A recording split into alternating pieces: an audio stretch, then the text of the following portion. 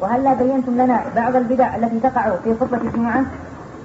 يقع في خطبة الجمعة المداومة على قوله تعالى إن الله وملائكته يصلون على النبي. يا أيها الذين آمنوا صلوا عليه وسلموا تسليما. لم يثبت هذا. وأيضا ذكر الخلفاء الراشدين في الخطبة فالنبي صلى الله عليه وآله وسلم ما كان يذكر في خطبه نوحا وإبراهيم وإسماعيل إلى آخره. ما كان يذكر هذا. نعم وهكذا ختم الخطبة بقوله تعالى إن الله يأمر بالعدل والإحسان. إلى آخر الآية. لم يثبت أن النبي صلى الله عليه وعلى آله وسلم فعل ذلك. وما فعله إلا عمر بن عبد العزيز لمناسبة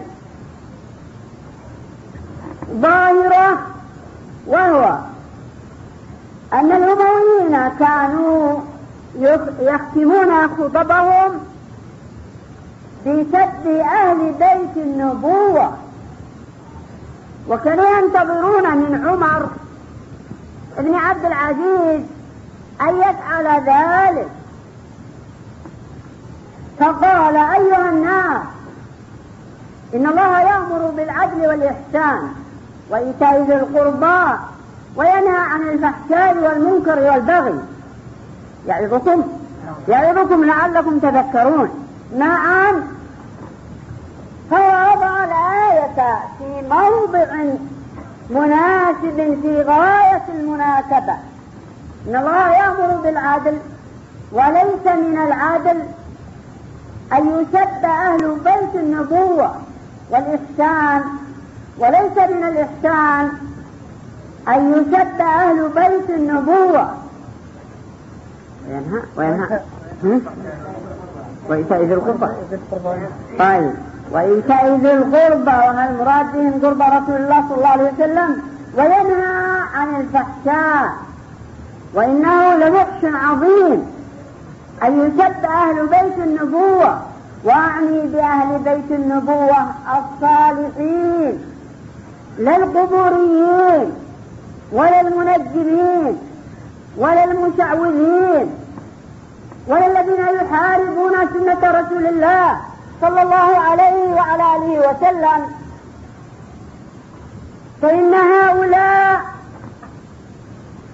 ليسوا من أهل بيت النبوة المكرمين الذين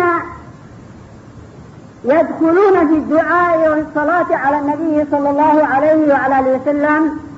لأن الله قال لنوح عند أن قال ربي إن ابني من أهلي وإن وعدك الحق وأن وعدك الحق وأنت أحكم الحاكمين. قال يا نوح إنه ليس من أهلك إنه عمل غير صالح فلا تسألني ما ليس لك به علم إني أعظك أن تكون من الجاهلين. نعم فنعني بأهل بيت النبوة الصالحين منهم. لا الذين يسبون صحابة رسول الله صلى الله عليه وعلى آله وسلم. لا الذين